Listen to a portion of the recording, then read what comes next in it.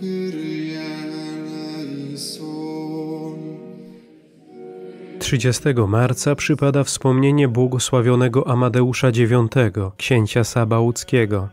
Amadeusz urodził się w roku 1435 w Sabaudi.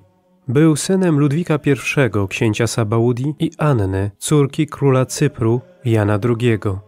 Pragnął zostać duchownym, ale poddając się woli ojca, poślubił Joannę, córkę Karola VII, króla Francji. Został ojcem dziesięciorga dzieci. Jedna z jego córek, Ludwika, została błogosławioną. Jako książę rządził sprawiedliwie, troszcząc się o poddanych. Jednak epilepsja, na którą cierpiał od dzieciństwa, uniemożliwiała mu pełnienie obowiązków.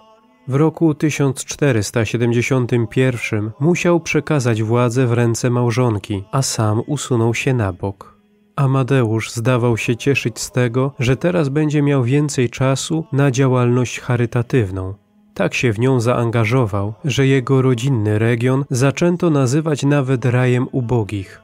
Alpejski książę żył bardzo skromnie, a wielką wagę przywiązywał do życia duchowego.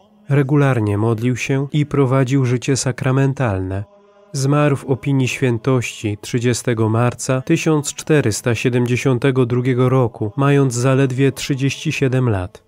Na łożu śmierci powiedział do swoich dzieci i służby: Bądźcie sprawiedliwi, kochajcie potrzebujących i biednych, a Pan da pokój waszemu krajowi. Pochowano go w katedrze w Werkeli, gdzie do dziś znajdują się jego relikwie. Został beatyfikowany przez Inocentego XI w roku 1677.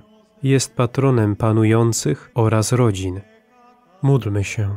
Boże, tylko Ty jesteś święty i bez Ciebie nikt nie jest dobry. Spraw za wstawiennictwem błogosławionego Amadeusza, abyśmy prowadzili życie prawdziwie chrześcijańskie i mogli oglądać Twoją chwałę w niebie. Przez naszego Pana Jezusa Chrystusa, Twojego Syna, który z Tobą żyje i króluje w jedności Ducha Świętego, Bóg przez wszystkie wieki wieków.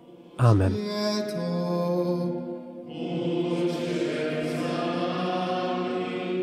Wszyscy święci, święte Boże.